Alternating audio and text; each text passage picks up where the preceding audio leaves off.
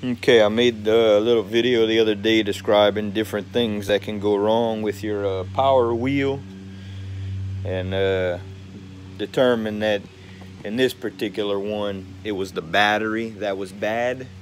And to replace that 12 volt battery that goes in here it's going to cost you 60 to 70 dollars. You know if you go to Walmart and buy a power wheel battery you can go on Amazon and find one for 30 25 30 40 dollars for a battery that belongs in here. And like I described in the other video those batteries you charge them you've got one your child rides on it for a little while and it dies. So I wanted to bring an alternative to that to you guys and I'm not sure about you guys but I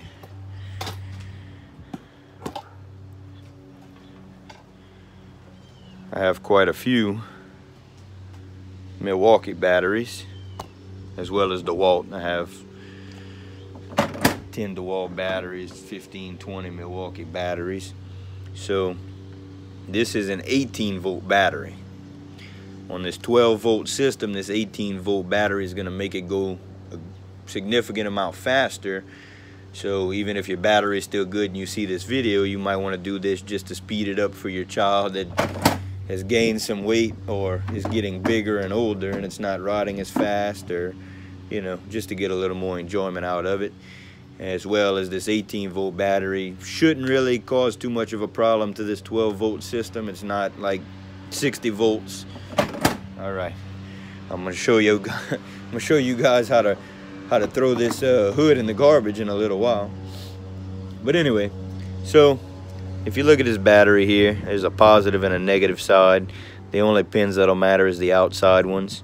So if you hook the positive right here, negative right here, you'll be good.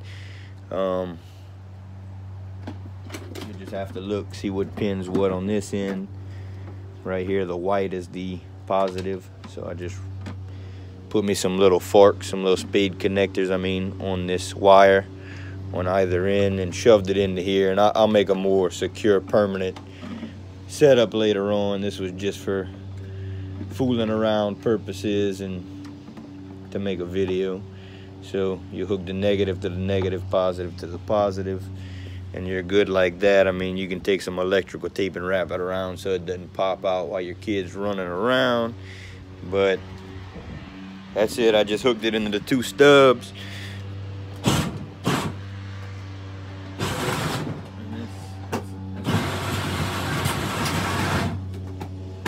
So, show you guys.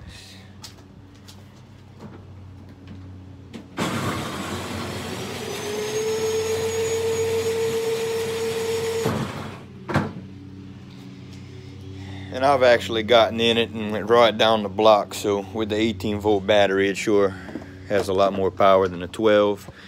Um, like I said, I'm gonna make a more secure option for this. They actually have like the little things that'll slide over these for like a USB charger and stuff. And I'm gonna get somebody to 3D print me a piece that'll clip onto here. And then I'll be able to mount these in there and it'll slide on and off and I won't have to worry about the wire popping in and out.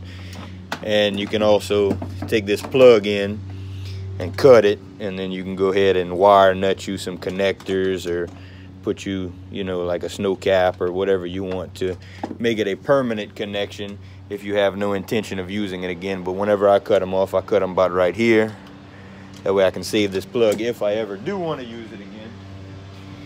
So like I have this other one right here. It's frozen, man. I've cut the plug off of it and left a little piece in case I ever wanted to use it again with the battery, which I probably will not and I've actually crimped on some pieces with some forks like that. And like I said I'm gonna have some actual pieces made where I can pop them on and off. And I seen a guy he, he put like a switch a voltage control switch and you can turn that switch down and you'll only be seeing about 12 volts. And uh, if you have a smaller kid you can let them use it like that with the voltage turned down. And then once they get bigger you know, older and can control it without wrecking into everything or running in the street with it, then you can go ahead and turn that switch up and it'll get the whole 18 volts. Or if you're using a DeWalt battery the 20 volts. And uh, like I said I, have rode up and down the street with it and we've put a couple of hours fooling around with it with the kid. And uh, it hadn't burned up or anything so I don't think there's a real worry with messing the motor up with something a little bit higher than you know 12 I mean like I said if you were going 60 which I do have a DeWalt 60 volt battery. I might have to hook it up see if I could burn something up. But uh, like I said, this is just a quick little hook up and run instead of going spend 50 60 dollars 70 dollars on a new battery and whenever you have five or six of these two or three of these you can use it when it dies you just swap it out. You don't have to worry about going plug it in inside for 10 hours. You know you can fit two or three of these in there so when your kid's riding up and down the street or in the backyard and it dies way in the back they can have another battery here and here and they can just swap it out. Or you can get back there and swap it out rather than dragging it all the way back to the front. But hopefully this helps somebody out. If not give it a thumbs down. I don't care. Uh, I'll have another video on this soon and I'll also flip one over and take it apart and show you the motor and everything how to diagnose if there's other problems beyond the battery if your battery's still good and you still have a problem with it. And uh, maybe I'll show you guys me riding down the street going 10 miles an hour in one of these bad boys. This one here lights up everything man but uh like I said, appreciate you guys checking it out. Be on lookout for the next video about these power wheels. If you're into tools or any kind of other do-it-yourself stuff, I have other videos. You know, check them out. If you like what you see, subscribe. Give me a thumbs up. Leave something in the comments about something else you want to see. You know, if you want to see how to blow something up or how to rip this hood off or any kind of special tool.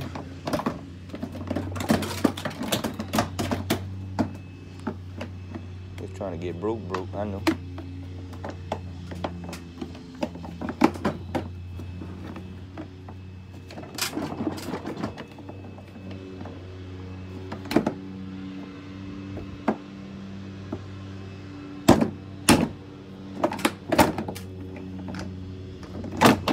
Get that out of there. Anyway, appreciate you guys checking it out, like I said already. And y'all take it easy.